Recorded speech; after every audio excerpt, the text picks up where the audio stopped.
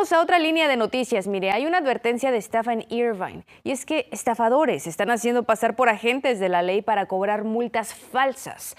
Los estafadores usan el miedo para presionar a las personas a actuar rápidamente, advierte la policía de esa ciudad. Ellos aconsejan solicitar nombre, identificación, número de placa y sección del departamento a los llamantes y sobre todo reportar cualquier situación que vean que no sea normal.